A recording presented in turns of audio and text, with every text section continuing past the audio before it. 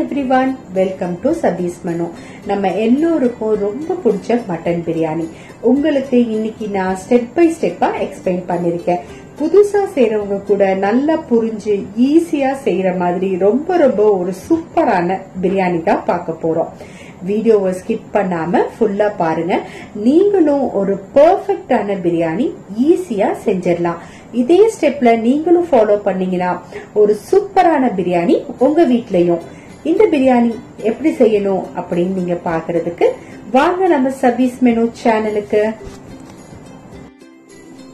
நம்ம இப்போ one KG சீரக சம்பா மட்டன் பிரியாணி செய்ய போறோம். ஒரு குக்கர்ல one fifty ml oil one fifty ml நெய் ஆட் பண்ணிக்கலாம். இப்போ எண்ணெய் காயறதுக்குள்ளயும் நம்ம தாளிக்கிற பொருள் எடுத்து வச்சிடலாம்.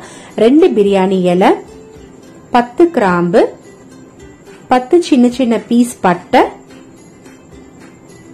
எட்டு ஏலக்காய். எண்ணெய் காஞ்ச உடனே இது எல்லாத்தையும் நம்ம அதுல சேர்த்துடலாம்.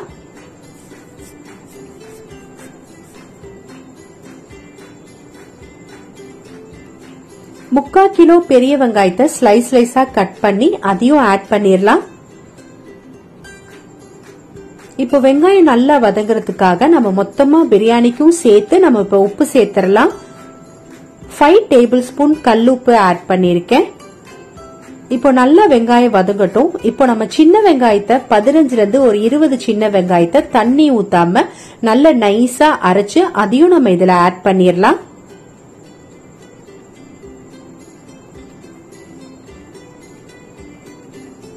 இப்போ வெங்காயம் வதங்கிட்டு இருக்கு. இந்த ஸ்டேஜ்ல அந்த சின்ன வெங்காயத்தையும் நம்ம ஆட் பண்ணிடலாம். இப்போ வெங்காயம் நல்ல கோல்டன் பிரவுன் கலர்ல வந்துருச்சு. இப்போ நம்ம முக்கா கிலோ தக்காளி ஆறு பச்சை மிளகாய் ஆட் பண்ணி நல்லா மிக்ஸ் பண்ணிக்கலாம்.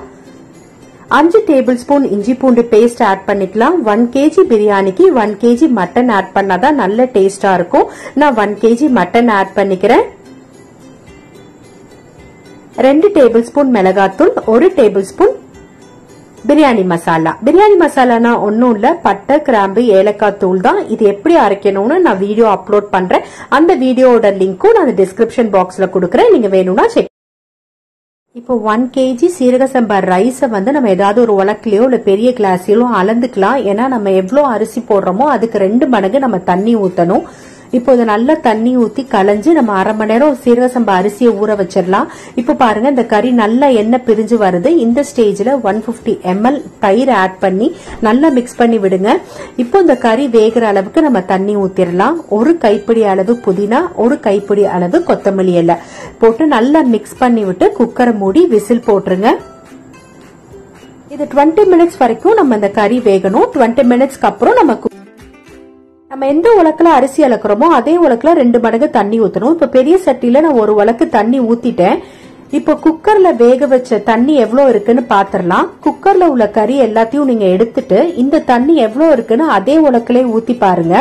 இப்ப பாருங்க அதே உலக்கில ஊத்துனா ஒரு உலக்கு இருக்கு. ஆல்ரெடி நம்ம ஒரு உலக்கு தண்ணி ஆட் பண்ணிருக்கோம் இப்போ ஒரு உலக்கு கறி வேக வச்ச தண்ணி இது ரெண்டையும் ஒன்னா சேர்த்து நம்ம அடுப்புல வச்சு இப்ப கொதிக்க வைக்க போறோம்.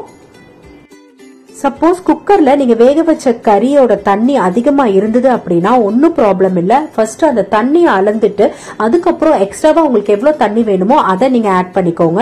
இப்ப தண்ணி நல்லா கொதி வந்துருச்சு. இந்த ஸ்டேஜ்ல நீங்க வேக வச்ச கறியையும் அரிசியையும் ஆட் பண்ணிக்கோங்க. அரிசியை நல்லா வடிச்சிட்டு தண்ணியே இல்லாத மாதிரி ஆட் பண்ணிக்கணும். இப்ப நல்லா மிக்ஸ் பண்ணி விடுங்க. இந்த ஸ்டேஜ்ல நீங்க டேஸ்ட் பாத்துக்கோங்க நம்மளோட சூப்பரான பிரியாணி இப்போ ரெடி ஆயிட்டு இருக்கு பாருங்க அந்த அரிசி பிரியாணி மசாலாவோட சேர்ந்து நல்லா வெந்துட்டு இருக்கு இந்த டைம்ல நீங்க அடிக்கடி கொஞ்சம் மிக்ஸ் பண்ணி விடுங்க இல்லாட்டி அடி பிடிச்சிடும்.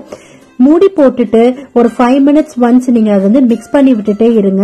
மெதுவா மிக்ஸ் பண்ணுங்க இல்லாட்டி அரிசி உடஞ்சிரும். இந்த மாதிரி நல்லா மிக்ஸ் பண்ணி விடுறப்ப தண்ணி எல்லாம் வத்தி அரிசி இது மாதிரி மேல தெரியற ஸ்டேஜ்ல நம்ம தம்ல போட்டுடலாம் சைட்ல ஒரு யூஸ் பண்ணாத ஒரு தோசைக்கல்ல நல்லா ஹீட் பண்ணுங்க. திரும்ப சைட்ல ஒரு பெரிய பாத்திரத்துல தண்ணி ஊத்தி நல்லா பாயில் பண்ண வைங்க. அரிசி ஆல்மோஸ்ட் செவன்டி ஃபைவ் பர்சன்ட் வெந்துருச்சு. தண்ணியே இல்ல தண்ணி எல்லாம் சுத்தமா வத்திருச்சு. இந்த ஸ்டேஜ்ல நம்ம தம்ல போட்டுடலாம் ரெண்டு டேபிள் ஸ்பூன் நெய் ஊத்தி நல்லா அதை பிரஸ் பண்ணி விட்டு இப்போ நம்ம தம்ல போட்டுடலாம் நம்மளோட பிரியாணி இப்போ தம்ல போடுறதுக்கு ரெடி ஆயிடுச்சு. இப்போ அதை நம்ம எப்படி தம்ல போடுறதுன்னு பாத்துடலாம் அடியில நம்ம ஹீட் பண்ண ஒரு தோசைக்கல்லு. அதுக்கு மேல நம்ம ரெடி பண்ண பிரியாணி. இந்த பிரியாணியை க்ளோஸ் பண்றதுக்காக ஒரு மூடி போட்டுருங்க. அதுக்கு மேல நம்ம பாயில் பண்ண அந்த வாட்டர் சோ அடியிலையும் நல்ல ஹீட்டா இருக்கும். மேலையும் நல்ல ஹீட் கொடுக்கும். இதை நீங்க வந்து ஒரு 15 மினிட்ஸ் தம்ல போடணும். ஆனா நெருப்பு வந்து ரொம்ப கம்மியான ஹீட்ல தான் இருக்கணும்.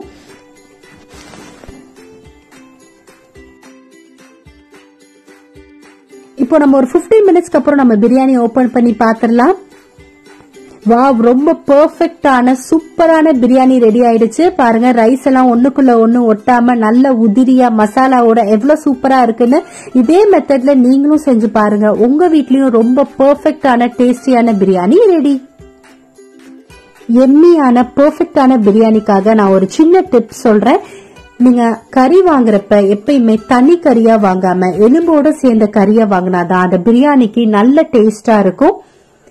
அதே மாதிரி அரிசிக்கு நீங்க எவ்வளவு தண்ணி ஊத்துறீங்க அப்படின்னா one is to two ratio ஒரு உலக்கு அரிசினா ரெண்டு உலக்கு தண்ணி. தண்ணியோட அளவு நீங்க எப்பயுமே கரெக்டா வச்சாதான் பிரியாணியோட அரிசி உடையாம உதிரி உதிரியா ஒண்ணுக்குள்ள ஒண்ணு ஒட்டாம சூப்பரா இருக்கும்.